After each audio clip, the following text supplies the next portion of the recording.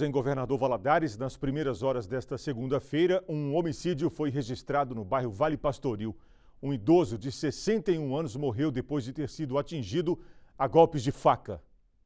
Foram vizinhos que encontraram Naédio de Paula Souza, de 61 anos, morto dentro da casa dele, no bairro Vale Pastoril, em Governador Valadares, e acionaram a polícia. O homem estava no chão da sala depois de ter sido atingido por facadas. A polícia militar explicou que ainda não se sabe a motivação, já que a vítima não tinha passagens pela polícia e nem inimizades. Naédio era professor e trabalhava duas vezes por semana na cidade de Tumiritinga, onde a família mora. Esta noite teve uma briga nessa residência, uma confusão.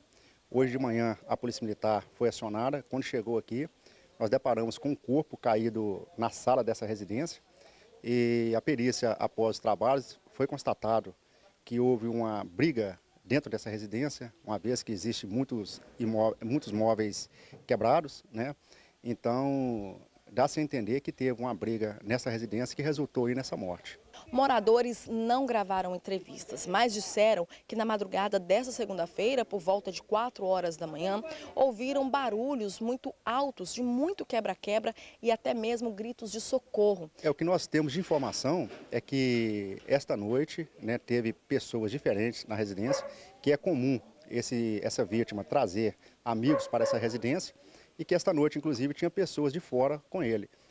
Temos informação que ele mora sozinho, mas que é frequente ele trazer amigos para a casa dele. De acordo com a polícia, nenhum pertence foi levado. O veículo da vítima estava estacionado em frente à casa e foi vistoriado pelos militares. O caso agora segue sob investigação da Polícia Civil. Não foi localizado a arma do crime. É, esse indivíduo ele tem informação que ele recebe visitas constantes de amigos, mas a gente não sabe ainda quem são essas pessoas e estamos levantando maiores informações durante o dia para tentar achar a autoria desse crime, tentar prender esse indivíduo.